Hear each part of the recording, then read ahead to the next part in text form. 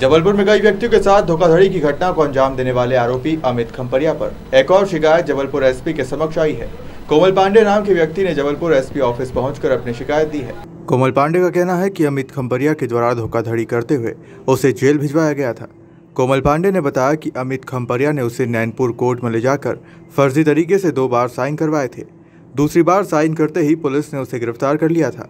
आरोप है कि अनिरुद्ध कुमार चतुर्वेदी के नाम से अमित खम्परिया के द्वारा जान से मारने और परिवार को खत्म करने की धमकी देकर साइन कराए गए थे, जबकि अनिरुद्ध कुमार चतुर्वेदी अमित खम्परिया के पिता है। इसी मामले में दो अन्य व्यक्तियों के द्वारा दूसरे नाम से नैनपुर कोर्ट में साइन किए गए थे। पूरे मामले की शिकायत जबलपुर एसपी सिद्धार्थ बहुगुणा से की गई है, जिसके बाद जबलपुर एसपी ने कहा है कि पूरे मामले की जाँच बरगी सीएसपी प्रियंका शुक्ला को सौंपी गई है, जो कि पूरे मामले की जाँच करेगी और उचित कार्यवाही मामले में की जाएगी। नहीं नहीं मुझे मैं सिर्फ़ उनके पिताजी के नाम में गया था।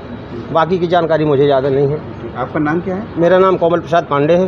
रहते कहाँ मैं अभी वर्तमान में तो यहीं अमनपुर में रहता हूँ मदन महल पे। अच्छा मंडला जेल भी गए थे? मंडला जेल गया था। जेल गए थे? जी मेरा तो अपराध नहीं था उन्हीं के पिताजी के अपराध में मैं साथ में चला गया था बल्ले में। अच्छा वो किससे मिलवाया था? ठीक है। हाँ, ठीक किससे मिलवाया? एक बार संज्ञान में आया। सर किस तरह की शिकायत आई? इसमें अमित खम्परिया जिनका पुराना भी रिकॉर्ड है उनके विरुद्ध एक शिकायत आई है कि उन्होंने दवा बना करके आवेदक को अनिरुद्ध प्रसाद चतुर्वेदी के, के नाम पे प्रस्तुत करके उनको जेल भिजवा दिया। ऐसा इस आशय का एक आवेदन जस्ट अभी मेरे पास आया। इसकी जाँच हमने सीएसपी वर्गी प्रियंका शुक्ला को दी है। वो जाँच विधिवत होगी और जाँच उपरांत कार्रवाई होगी। ब्यूरो रिपोर्ट खबर मध्य प्रदेश।